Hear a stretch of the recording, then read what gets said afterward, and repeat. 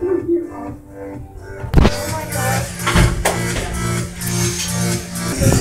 think I like this one, but it's really short, and I feel like a lot of these dresses are made for like super short people.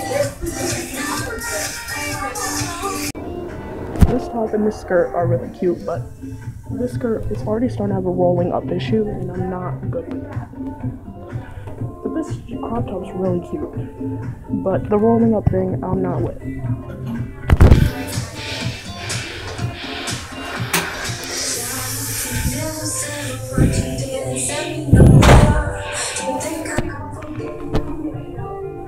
It's cute, but it's really tight in the stomach area.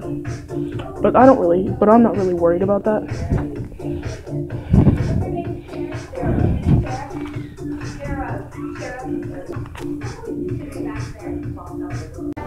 If you have big arms, this is not a good pick. And it won't zip up. So a no-go on this one.